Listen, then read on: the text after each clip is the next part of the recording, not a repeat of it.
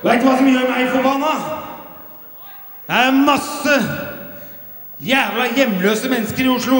Det er kaldt som faen. Og som en måned tid så går folk rundt og kjøper et tre og tar med og har hjemme i stua. Faen og livet er urettferdig. Det er mange som har spurt meg Viggo, åssen havna du utpå? Det kan jeg bare få lov til å fortelle dere. Jeg har hatt jævla mye uflaks. Og det kan dere huske. Hvis du ser en svart paraply krysse veien, eller du åpner ei katte innendørs Det betyr uflaks. Jeg tror kanskje jeg er en av de uheldigste menneskene i hele verden.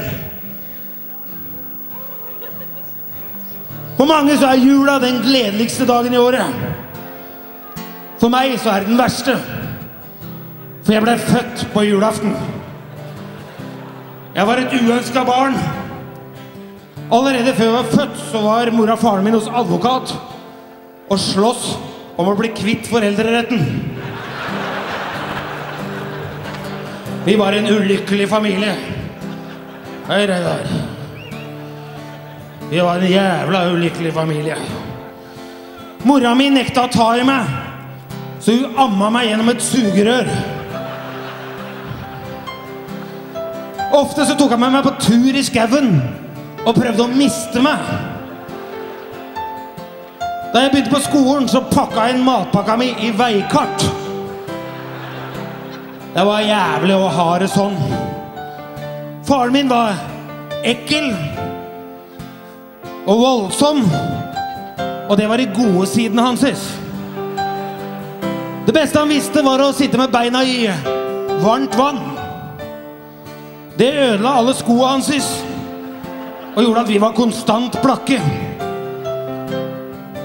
Det var faren min som oppdro meg. da. Fra jeg ble født, så maste han på at jeg skulle lære å gå og snakke. Og så fort jeg kunne det, så sa han 'Sitt ned og hold kjeft'. Faen, jeg husker de grusomme julaftene vi hadde. Rommet vi bodde på, var så lite at når vi blunka, så vaska vi vinduene. Det beste jeg visste, var nøtter. Ei jul så fikk jeg en pose av nøtter av fattern. Men alle nøttene var tomme. Han sa det var fordi at treet hadde fisi.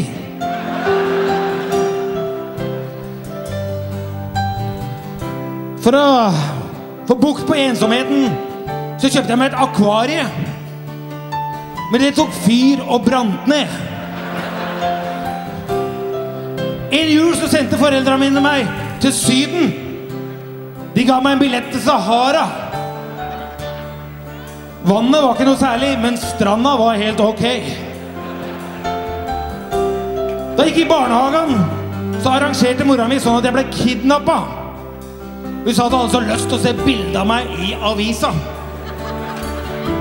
Jeg tilbrakte ei hel jul i en fuktig kjeller. Det var trist, det. Verste jula jeg har hatt, det var det året jeg fikk en gyngehest.